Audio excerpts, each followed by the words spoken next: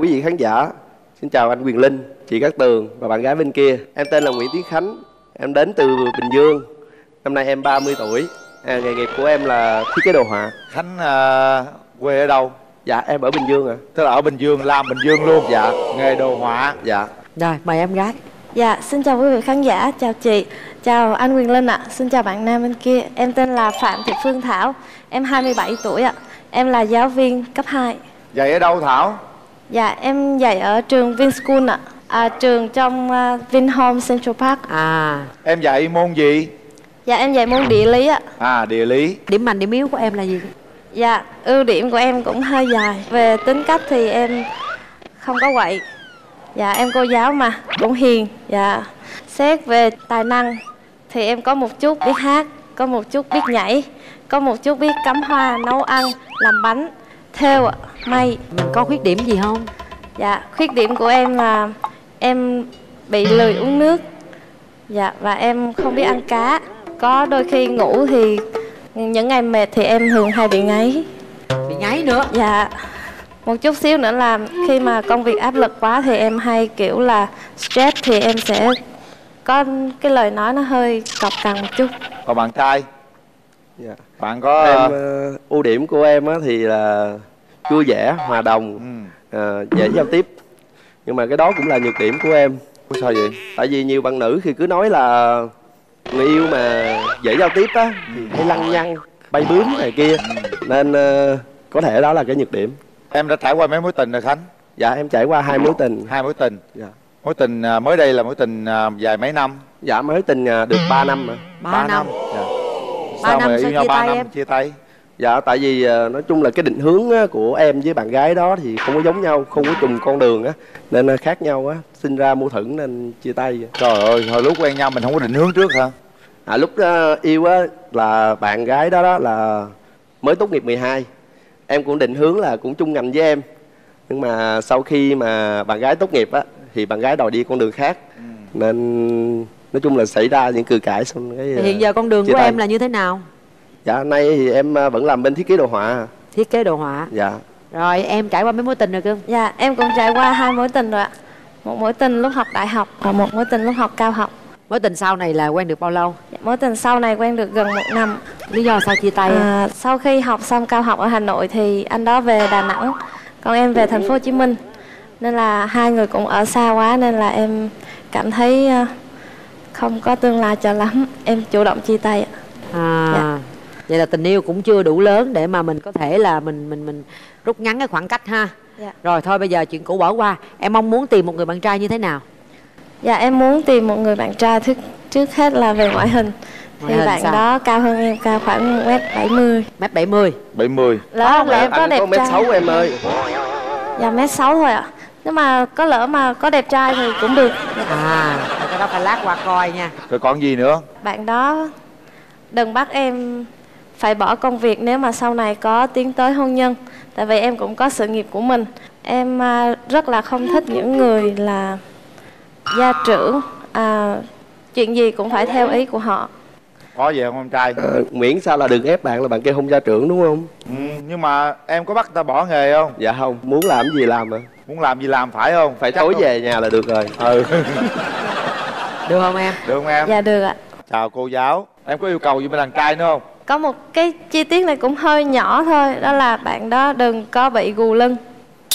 Chết Chà, rồi ngồi chết lâu rồi. quá lưng có gù không? không bị gù. Sao lý do kỳ em. Em có nhiều lý do. Gù lưng thì sao? Dạ nó liên quan tới thẩm mỹ một chút thôi. Thì Nếu mà mình không được cao mà mình còn gù lưng nữa thì chắc là cái này phải tập thôi anh ạ. Thì tập mà cái này Dạ. dễ. Em yêu cầu cái nào mà nó nó khó hơn được không Khó hơn. Ừ. Dạ em cũng hơi quan tâm đến một chút vấn đề về răng miệng. Bạn có bị hôi miệng không ạ? Sao anh không kiểm tra được? khỏe lỡ anh răng bị miệng. sức môi thì sao? Cái này thôi chúc em kiểm tra cho anh kiểm tra không được em. Dạ. Trời, cô giáo đưa ra nhiều tình tiết éo le quá nha Dạ. anh thấy á, chàng trai bên đây cũng rất là năng động. Em là cô giáo phải nói cũng rất chững chạc nhưng mà đưa mấy yêu cầu đó cũng dễ chứ không khó đâu. Vấn đề là người ta quan tâm chút là người ta sẽ bỏ được thôi. Cô giáo ờ, dễ thương lắm Còn bên đàn trai thì có yêu cầu gì về ờ, người bạn gái của mình không? bạn gái em không cần yêu cầu nhiều. Chỉ cần ờ, dễ thương xíu là được rồi. Miễn sao làm em thương là được rồi. Ngoại hình cũng quan trọng hả? Cao thấp mập ngoại hình ốm. thì ờ, bạn đã chọn ngoại hình rồi em đâu có dám chọn ngoại hình nữa. À. Lỡ em không đáp ứng ngoại hình nữa là sao? Có cái gì em không thích ở người bạn gái không? Dạ không thích bạn gái rồi. Quá nhõng nhẽo nhưng mà mình ờ, cũng phải ch- chiều bạn gái một chút chứ đúng không? Dạ em có chiều em chiều dữ lắm. Chiều đó. muốn gì em chiều cái đó à? Rồi để tướng tá cũng được ha. Khi nào mình đám cưới được? Dạ khi nào mà bạn ấy làm em yêu mà em không thể xa rời bạn đó được thì sẽ đám cưới được. Ghê vậy. Rồi à, về đám cưới xong thì mình tính là mình sẽ lập nghiệp ở đâu? Dạ thì tùy à, bạn muốn ở đâu ở đó à. Sao vậy? Em cũng tùy người ta em phải có chính thì kiến em chứ. em rất là dễ. Nếu mà làm em yêu thì cái gì em cũng chấp nhận được hết bản thân em muốn khi nào kết hôn? Em có thể bất kết hôn bất cứ lúc nào. Có chuẩn bị gì cho kết hôn chưa? Dạ đầy đủ. Đầy đủ là cái gì? Cụ thể. À, có nhà cửa rồi đầy đủ. Thôi bây giờ mình hỏi thêm ý kiến người thân nè. Hôm nay em đi với ai? Dạ em đi với em trai và bạn thân của em ạ. Rồi cho chị gặp em trai của em nha. Dạ. À, Chào chị Cát Tường, chào anh Quyền Linh, chào anh và mọi người ở trường quay ạ. Thì à, nãy giờ em ngồi dưới thì em thấy á, anh khá là bảnh bao, nói chuyện cũng rất là dễ thương. Đối với chị em thì chị em hiền lành ít nói nhưng mà đôi khi hơi khó tính cả, cả con- trong công việc và tình yêu nữa. Nhưng mà em nghĩ là hai anh chị có thể à, dành thời gian để tìm hiểu nhau để tìm ra một lối đi chung cũng được ạ. cảm ơn em trai. Em đi với ai? Dạ em đi với ờ, ông anh với mấy đàn em. Chào mọi người ở phim trường. À, Tôi là anh của Khánh. Hôm nay à, gặp em thì thấy hai người thì vóc dáng thì rất là ok được gái này thì à, tính tình chững chạc hơn nhiều. Em của mình thì nó rất là vui. Cho nên à, một cái vui một cái chững chạc thì hài hòa nhau thì cả nhà chắc là rất là êm ấm và luôn có tiếng cười. À, Mong hai người có nhiều thời gian để tìm hiểu hơn nữa. Dạ em cảm ơn ạ. Rồi Dạ, cảm ơn anh. Bây giờ ta tham khảo rồi á mình mở rào cho hai bên gặp mặt rồi từ đó mình tính toán chuyện bấm nút không bấm nút nha. Rồi kéo rào hai phút dành cho các bạn bắt đầu.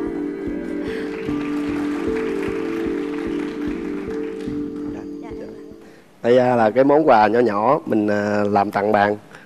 À, mình làm rất là công phu á cưa từng từng ly từng tí khoan từng lỗ một mong bạn nhận dùng Dạ em cảm ơn. À, Dạ. Cái món quà của em tặng anh cũng là chính tay em làm Cũng À. là từng đường kim mũi chỉ ạ. Ồ. Anh có thể xem ạ. Ok tâm đầu ý hợp quá, tặng quà toàn tự làm. I love you Đây là một cái khăn tay ạ. Thời Rồi, giờ cảm mà còn em. có bạn gái Dạ. thiêu thiêu khăn tay tặng bạn trai nữa. Trời ơi thích quá. Sau những ờ, gì mà anh nói em nghĩ gì về anh? Em thấy anh cũng có hơi một chút trẻ con thiệt. Dạ. Chính xác nhiều khi rất là trẻ con luôn. Dạ.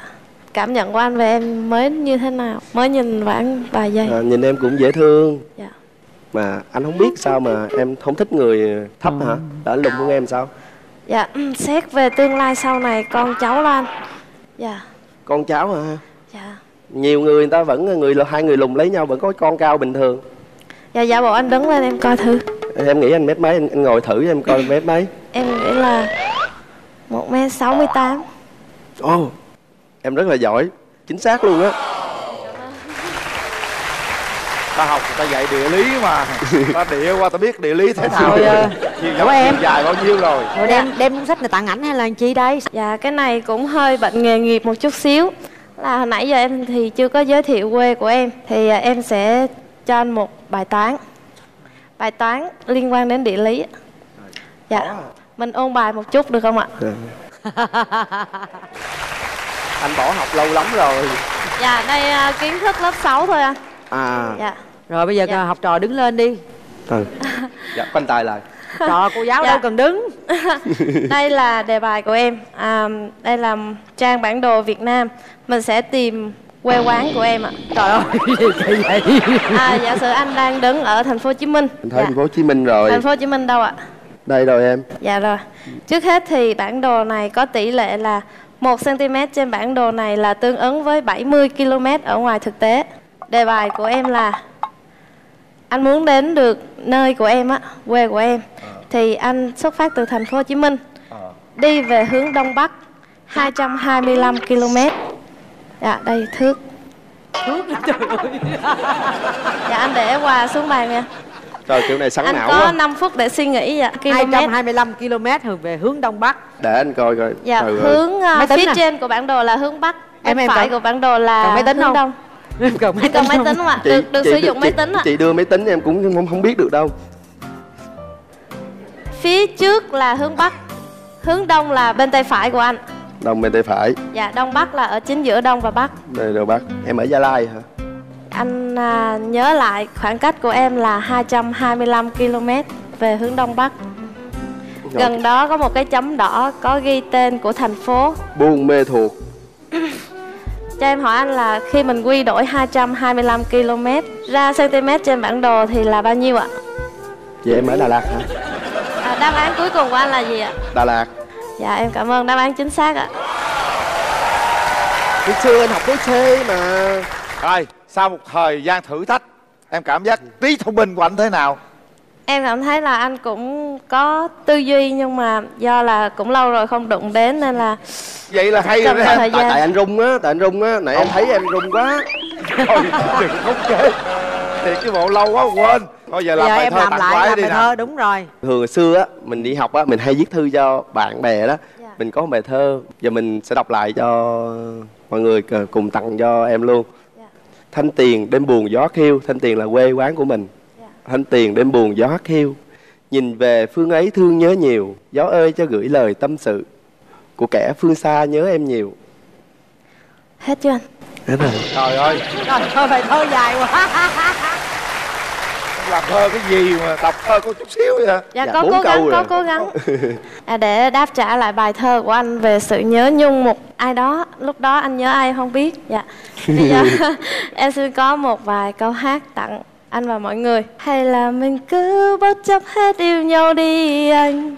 Hay để chắc chắn anh hay lắng nghe tim muốn gì. Và dẫu cho mai sau có ra sao Thì em cũng sẽ không hối tiếc về ngày hôm nay Đã nói yêu. Rồi hết thời gian. Suy nghĩ thật Đâu kỹ nha hai bạn. Bấm hay không là quyền các bạn nha. Bấm nút là hẹn hò tìm hiểu để tiến tới hôn nhân nha. Còn mình không cảm thấy không phù hợp thì mình không bấm để cái duyên đó dành cho người khác. Hãy đưa ra quyết định của mình sau 3 tiếng đếm. Một hai ba. Hết thời gian. Mời em. Rồi lý do tại sao em lại không bấm nút? Em có bấm mà nó không ăn đó chị.